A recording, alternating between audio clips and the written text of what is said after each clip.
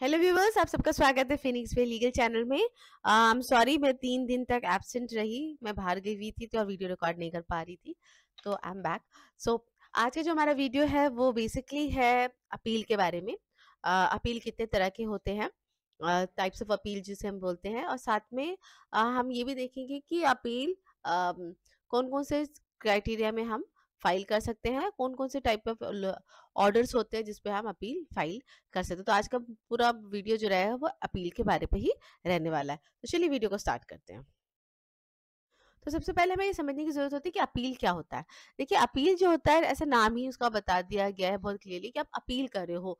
मतलब जो lower court में जो ऑर्डर, कानून की भाषा में अगर हम बोलते हैं तो जो लोअर कोर्ट जो सबसे नीचे का जो कोर्ट होता है, जिस कोर्ट में आपका पहला केस चल रहा है वहाँ से भी कोई भी ऐसा एक ऑर्डर आया है या कोई ऐसा डिग्री पास हुआ है, जो आपको नहीं लग रहा है कि वो आपके साथ सही ऑर्डर हुआ है, कानून की नज़र से आपको लग रहा है कि ये गलत ऑर्डर हो गया है तो उस ऑर्डर के अगेंस्ट में आप उसके ऊपर वाले कोर्ट पे जाते हो, अपील करते याचना करते हुए कि ये ऑर्डर को निरस्त किया जाए या उसे पलटा जाए। तो इस पूरे प्रोसेस को ही अपील कहा जाता है है ना?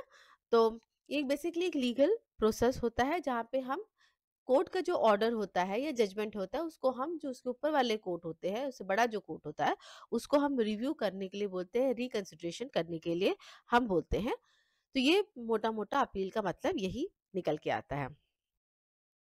अब हम बात करेंगे types of appeal types of appeal कौन कौन से इसमें हम अपील कर सकते हैं? हम सब यही सोचते हैं कि अपील जो होता है कि मैंने पूरा, मेरा पूरा केस चला और अगर मैं केस जीत गया तो जो हारी वाली पार्टी है वो अपील में जाती है। जी हाँ बिल्कुल, वो एक भी होता है, जिसपे अपील जाती है डिग्री के अगेंस्ट में। पर एक और एक चीज़ होता है, जिसके बारे में आज के इस वीडियो में ज़्यादा बात करेंगे, और वो है इंटरलोकेटरी अपील्स।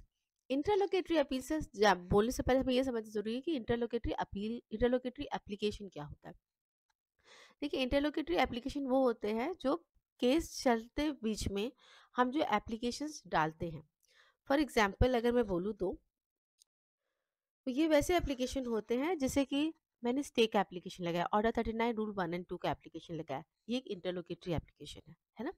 मैंने एक एप्लीकेशन लगाया कि मुझे टाइम दिया जाए, लेकिन मेरा वो एप्लीकेशन रिजेक्ट हुआ है। ये भी इंटरलोकेटरी ऑर्डर हुआ, उस पर रिजेक्ट हो गया। ये भी एक इंटरलोकेटरी एप्लीकेशन के अंदर पे आ जाता है।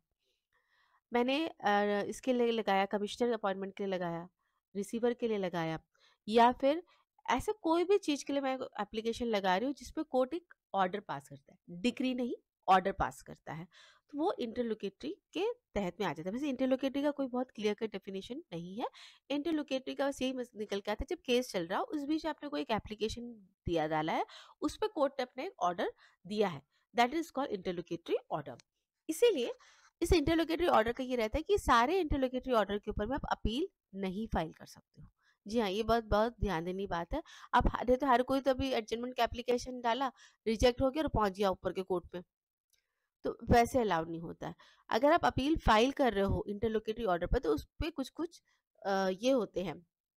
कारण होने होते हैं उसी टाइप के एप्लीकेशन पे आप इंटरलोकेटरी अपील फ़ाइल कर सकते हो है ना?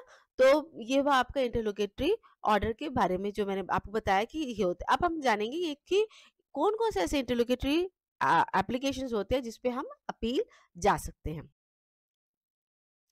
वो बताने से पहले ये ये जानना ज़रूरी होता है कि किस सेक्शंस के तहत में हम जा सकते हैं। देखिए, अगर हम सीपीसी पूरा पढ़ते हैं तो सीपीसी में कहीं पे भी नहीं लिखा है कि हम इंटरलोकेटरी अपील पे आप अपील जा सकते हैं। इंटरलोकेटरी एप्लीकेशन या इंटरलोकेटरी ऑर्डर पे अपील फ़ाइल करने की गुंजाइश कहीं पे सीपीसी के कहीं पे कोई भी धारा पे नहीं दी है। लेकिन हाँ हर एक चीज़ का कहीं ना कहीं तोड़ निकल के लाना पड़ता है, क्योंकि ऐसा कैसे होगा कि आप अपील ही ना फ़ाइल करो। तो ये अपना आता है section 105 of CPC sub clause one में आता है।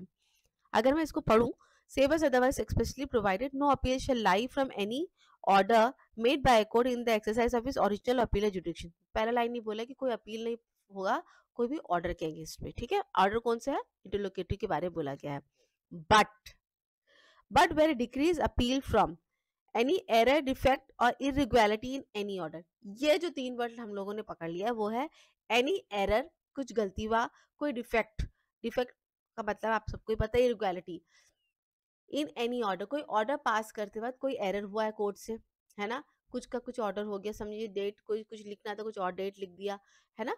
या फिर कोई डिफेक्ट हो गया उस ऑर्डर में ही, जिससे सब चीज़ें उल्टा से उलट पलट हो गया प्लेंटिव को रिलीफ देने की जगह डिफेंडेंट को रिलीफ दे तरह से एरर ही हो गया पूरा, डिफेक्ट हो गया, और इरिग्वेलिटी कुछ उसमें गलत, कानून की नज़र से भी गलतियाँ हो गई है। तो ऐसे जगह पे आप अपील फ़ाइल कर सकते हो इंटरलोकेटरी ऑर्डर्स पर।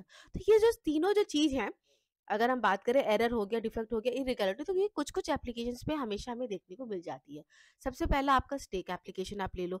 Order thirty nine rule and four three one and two या थ्री जो भी ले ले तीनों में। इन तीनों में ही इस एप्लीकेशन स्टेक एप्लीकेशन में हमें एरर भी दिख दिख सकता है डिफेक्ट भी दिख सकता है और इरेगुलरिटी भी दिख सकती है। तो ये हम अपील फ़ाइल कर सकते हैं उसमें। वैसे order thirty nine rule one and two में अपील का प्रोविज़न अलग से दिया भी गया है। तो वो भी, वो एक अलग बात हो जाती है बट वो एक उदाहरण के तौर पर मैंने आपको बताया।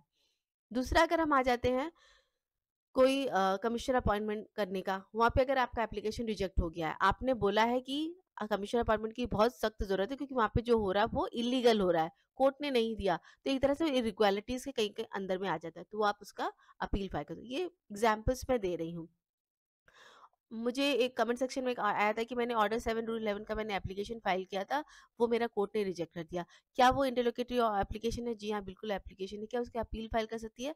आपको देखना पड़ेगा कि उसमें अगर एरर हुआ है डिफेक्ट हुआ है इरिगुलरिटी हुआ है, तभी आप अपील में जा सकते हो। वैसे मैंने उनको कमेंट में बता दिया था कि वो एप्लीकेशन ही उन्होंने गलत डाला था, आपको सही एप्लीकेशन डालना था वैल्यूएशन को लेके, वो एक अलग तरह का एप्लीकेशन होता है। हाँ आपने वैल्यूएशन को लेके एक अपील डाला कि सॉरी एप्लीकेशन डाला सिविल कोर्ट में कि ये जो वैल्यूएशन उन्होंने बताया है, ये तीन लाख का बताया बट एक्चुअली तो इसका वैल्यूएशन थर्टी लैक्स का है और आपने जो गवर्नमेंट सर्टिफाइड वैल्यू है उसका भी आपने ला दिखा दिया, लेकिन कोर्ट ने उसको रिजेक्ट कर दिया उस एप्लीकेशन को। आप बाकायदा अपील में जा सकते हो, क्योंकि वहाँ पे एरर भी हुआ है डिफेक्ट भी हो रही है और रिक्वालिटी तीनों चीज़ें वहाँ पर आ गई है। तो ये एप्लीकेशन पे डिपेंड करता है इंटरलोकेटरी एप्लीकेशन पे डिपेंड्स करता है, सारे के सारे, जैसे एडजमेंट का आपने एप्लीकेशन डाला, आप अपील पे चले कोई फ़ायदा नहीं है। कॉस्ट का अगर डालते हो, बहुत लोग कॉस्ट के लिए अपील में चले जाते हैं, कोई फ़ायदा नहीं होता है। तो ये देख के जाना होता है कि किस इंटरलोकेटरी एप्लीकेशन पे अपील पे जाना है। लेकिन ऐसा भी नहीं होना चाहिए कि आपका एप्लीकेशन रिजेक्ट हुआ इंटरलोकेटरी का और अपील में नहीं जा रहे वो आपके अगेंस्ट पे जाएगा। थोड़ा दिन पहले मैंने क्या डाला था वीडियो जिसमें ऑर्डर सिक्स रूल सेवन पे था अमेंडमेंट ऑफ़ प्लेन पे था। अगर अमेंडमेंट ऑफ़ प्लेन का वो भी एक इंटरलोकेटरी एप्लीकेशन है, वो आपका रिजेक्ट हो जाता है। और उसके ऊपर आप अपील में नहीं जाते हो, आपने तो अपना पाँव ही काट दिया फिर तो है ना? क्योंकि उसमें आपको अपील में जाना था, क्योंकि वो वो रिक्वायर्ड चीज़ थी, आपको कमेंट करानी थी आपके प्लेन में या डब्ल्यू एस में। आपने नहीं कराए आगे जाके क्या उसको लेकर गवाही करा सकते हो? उस चीज़ की गवाही आप नहीं करा सकते हो। आपने अपना खुद का केस वीक कर लिया है। तो कुछ कुछ एप्लीकेशन होते हैं जिसमें अगर रिजेक्ट हो जाता है तो उसकी अपील होनी बहुत ज़रूरी होती है इंटरलोकेटरी एप्लीकेशन में।